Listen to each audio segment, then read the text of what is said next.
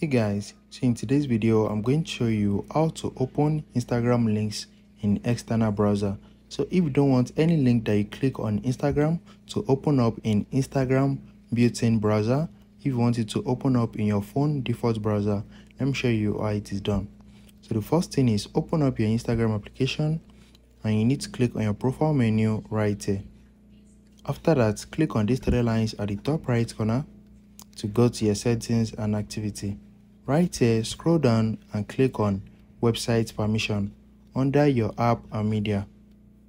Once you click on website permission, click on message links. Once you click on it, you are going to see this option for open in external browser.